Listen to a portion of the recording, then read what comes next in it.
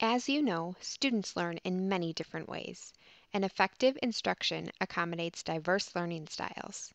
In this lesson about poetic language, students can not only read a poem by Gwendolyn Brooks and learn from the supporting visuals, but can hear it read in the poet's own voice along with her commentary.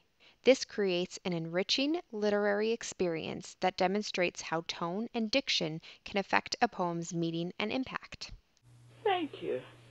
I guess I'd better offer you We Real Cool. Most young people know me only by that poem. I don't mean that I dislike it, but I would prefer it if the textbook compilers and the anthologists would assume that I've written a few other poems.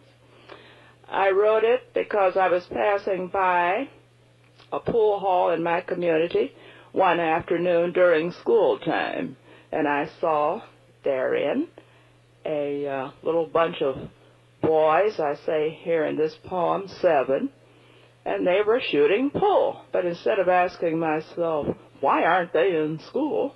I asked myself, I wonder how they feel about themselves. And just perhaps they might have considered themselves contemptuous of the establishment, or at least they wanted to feel that they were contemptuous of the establishment, might want to thumb their noses at the establishment, and I represented the establishment with the month of June, which is a nice, gentle, non-controversial, enjoyable, pleasant, fragrant month that everybody loves.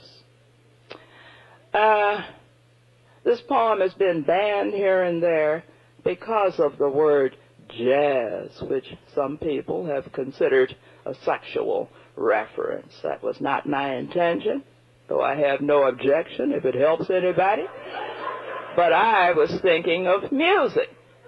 The pool players, seven at the golden shovel. We real cool, we left school, we learnt late, we